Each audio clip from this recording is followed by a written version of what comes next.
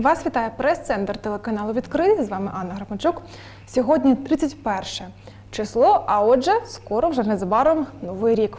А це означає, що на відкритому святкові прес-конференції. Тому прямо зараз говоримо про українські традиції святкування Нового року та Різдва Христового. Про це нам сьогодні розповість Ірина Завалова, старша наукова співробітниця музею історії Дніпра та Олег Репа, науковий співробітник, консультант музею історії Дніпра. Я вас вітаю. Ну що ж, пане Олег, почнемо з вас.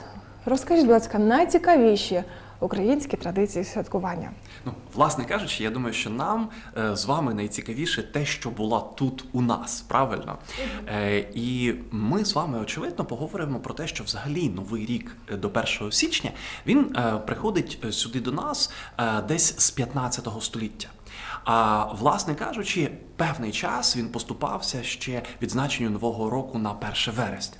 Але Е, Далі все активніше різдвяні свята, новорічні свята вони починають ставати популярними. Е, І мусимо сказати, що для е, тої ж козацької спільноти новий рік, 31 грудня, це радше було родинне свято. Тобто це був е, гарний стіл. Е, М'ясного, до речі, багато було на цьому столі, тому що м'ясне е, це власне святкове. І, до речі, хочу сказати, є один стереотип, він з 19 століття походить, про те, що в українців було багато свинини і сала. Так от за козацької доби свинини і сало було небагато. Тільки в дуже заможних господарствах могли дозволити собі розводити свиней. Е, Це е, переважно баранина е, була на столі. Також на наступний день у запорозьких козаків було, знаєте, таке е, свято робоче. Е, На Запорозькій Січі обирали кошового отамана. Попередня старшина дякувала за довіру, вона йшла у відставку, е, і козаки на загальній раді після молитви е, вони обирали нових старшин. На Але Новий бо- рік я правильно розумію? на новий рік 1 січня. А, справді, ну в новий рік з новими керівниками. Ну, до речі, дуже цікаві традиції були у запорожців стосовно корупціонерів. 1739 рік кошовий отаман вирішив не показати всі гроші, які прийшли козакам за участь у війні. Ну, частину випадково залишити в офшорі, от, в своїй кишені. От, ну, козаки його просто утопили в Дніпрі. Такі дуже пряме е, правосуддя. А, але ми повертаємося до більш е, цікавих таких е, речей. Новорічних. 1 січня.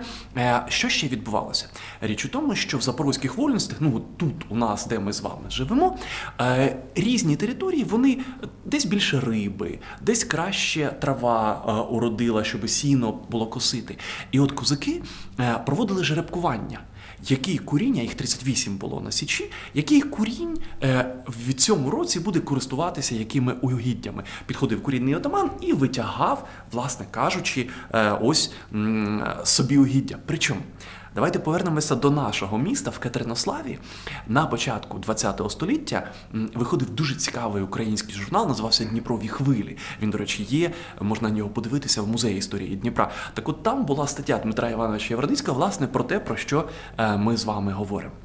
Але е, давайте пройдемо ще там на 100 років, е, можливо, далі.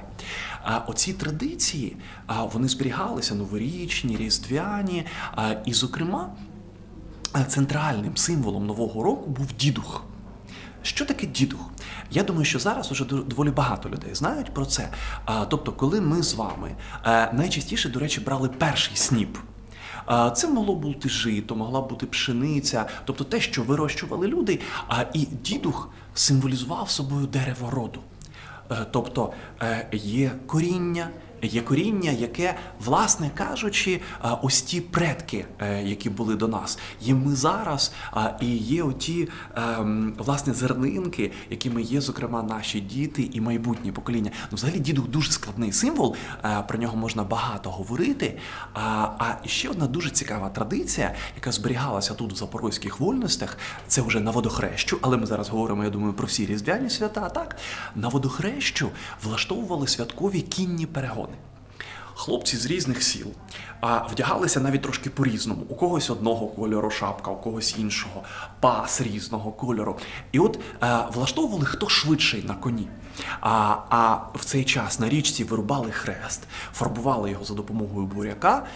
Потім святкували, да, святкова літургія була, священники святили воду. І, до речі, дуже цікаво. Е, прорубали в річці такий довгий рівчачок, і вже туди після освячення води священником підводили коней, щоб вони могли пити. Ну, ще одна дуже цікава традиція була. Е, після того, як священник освятив воду, вважали, що звідтіля вилітають чорти. Але е, хлопці приходили з рушницями і намагалися влучити в цих чортів. Ну ви розумієте, це радше був салют, тому що чорта ж е, цього ви не побачите. Так щось такі дуже різні традиції е, були власне на етапі домодерного суспільства. Якщо говорити за Різдво, які є цікаві традиції на Різдво? Ну, давайте, наприклад, ми з вами трошки поговоримо про ялинку, е, як різдвяне чи не різдвяний символ. Е, взагалі, ялинка поступово в 19 столітті впроваджується у нас саме як символ святкування Різдва. Був такий святий Боніфацій, е, є переказ церковний про те, що власне він зрубав дуб, якому поклонялися язичники. Цей дуб упав і завалив всі дерева, крім маленької зеленої ялинки. І оскільки ялинка вічно зелена, то вона є символом відродження, символом вічного життя, ну символом чого є Ісус Христос. Е, і спочатку взагалі ялинку не прикрашав. А були Просто це як зелене дерево, а потім почали стрічки якісь, а, яблучко, можливо, повісити, печиво якесь випечене. І уже десь на кінець 19-го, на початок 20-го століття починається е, ну, більш активне прикрашання е, ялинки. До речі, в цей же час з'являється Дід Мороз. А більш традиційним є святий Миколай. Та? А, і святий Миколай, ну ми знаємо чому. Тому що це людина, яка таємно та, приходила до бідних і робила їм подарунки, що його ніхто не бачив. А, і от так він перейшов на різдвяні свята. Але частина людей, які вже не вірила в Бога да, на початку ХХ століття, або хотіла підкреслити якісь такі давні слов'янські традиції, вона почала висувати на перший план Діда Мороза.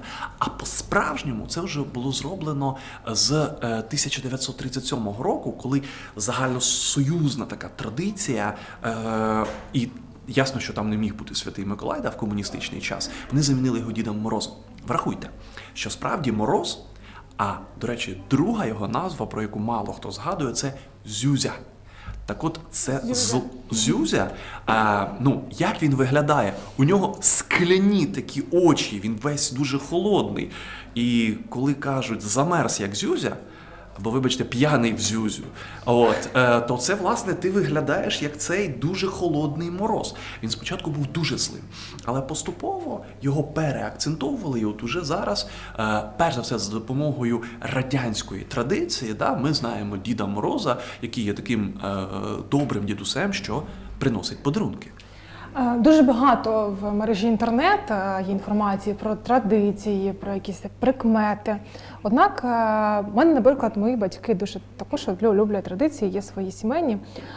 Чи можете ви порадити, де, от може є якесь джерело, так інформаційне, де можна почитати про справжні традиції, які реально були про суто корінно українські?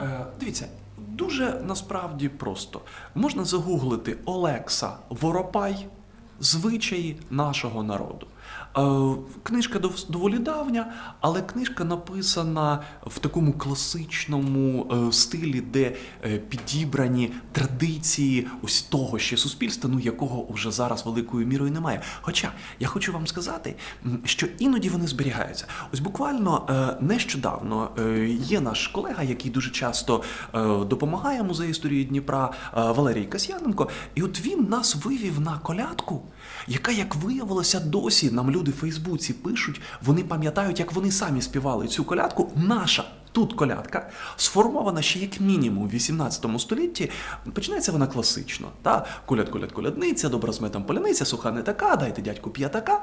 Як не дасте п'ятака, візьму вола за рога, а кобилку за чупринку поведу та на могилку, а з могилки та в кодак і продам там на п'ятак.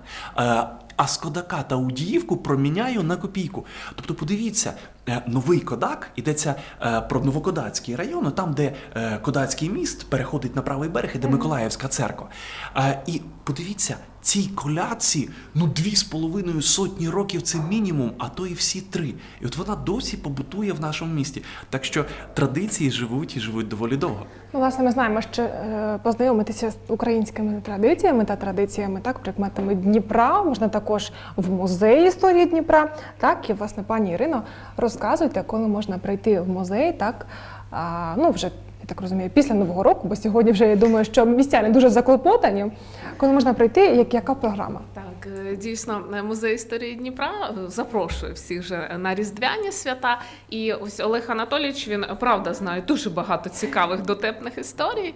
І власне музеї вже протягом січня можна відвідати екскурсії різдвяні та новорічні традиції в нашому місті. Власне, цю екскурсію. М, е, Створили Олег Анатолійович, наш е, ще один наш колега Юрій Берестень. Він зараз у відпустці. Вітання пану Юрію. Е, Бажаємо вам гарних свят.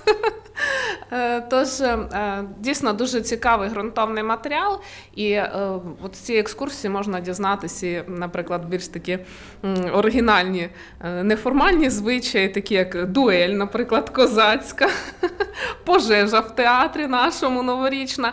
Тож ось такі незвичні історії. В екскурсії новорічні та різдвяні традиції нашого міста. Е, Є також дитяча екскурсія, теж в ми знайомимо власне вже юних відвідувачів з, е, з дідухом, розповідаємо, що це таке, ось е, як його наряджали. Дітки також дізнаються. А ну цікаво, теж на екскурсії вони, наприклад, ділять між собою землі нашого міста за жеребком. От як козаки е, розповідав Олег Анатолійович, ділили козацькі вольності. Так само вони у нас ділять, кому що дістанеться, кому монастирський острів, кому минора, кому ще щось. Ми вас запрошуємо. Е, Не кожен день собі власність можна отримати шматочок Дніпра, правда ж?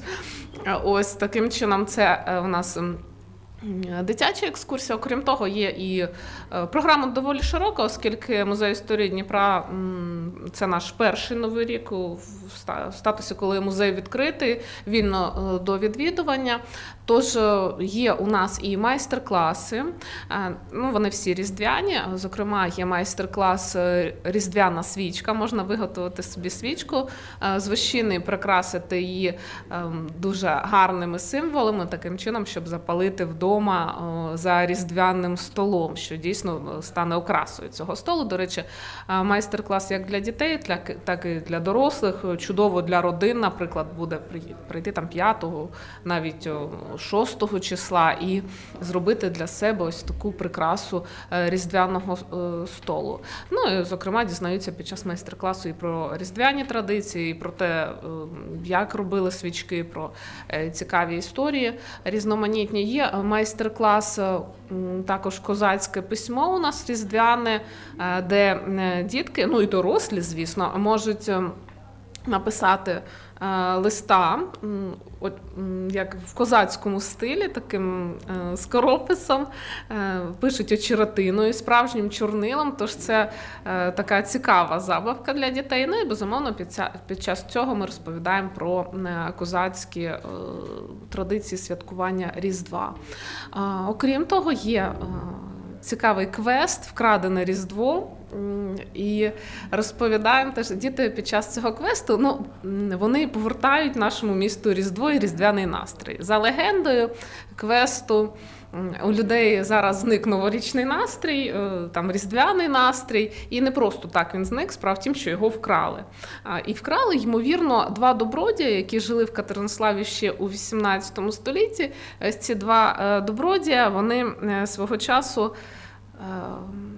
Е, Як забрали у людей е, свічки. Яким чином? Вони зробили штучну монополію на свічки у себе, викупили на базарах е, все сало, весь жир, який, яким люди могли скористатись замість свічок.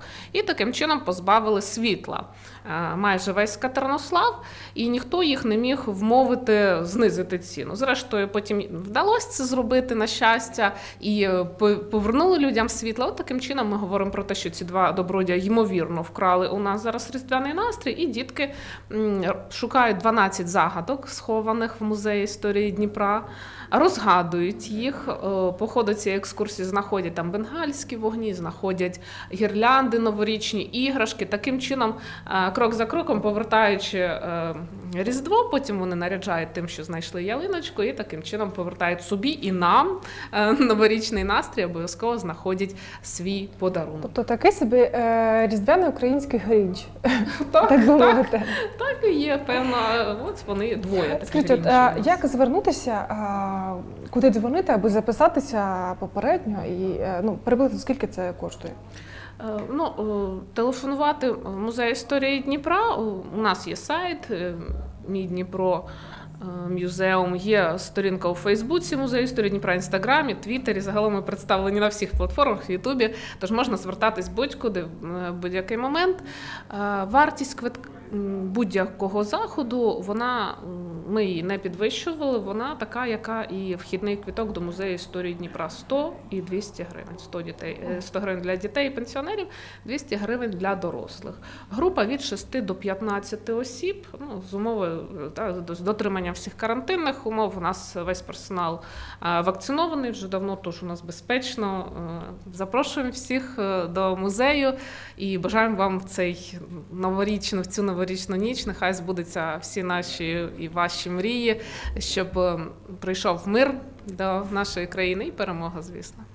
Пане Оле, хочеться від вас теж е, кілька слів, трохи часу у нас, у нас лишилося. Поздоровлення дніпрян, так, е, так і- історично. Я справді хочу сказати, що е, ми в музеї намагаємося, е, щоб ті наші речі, про які ми говоримо, ось е, пані Ірина говорила про двох добродіїв. Справді це абсолютно реальна історія, яка відбулася в Катернославі. От ну пані Ірина її знайшла і на основі цього розробила квест.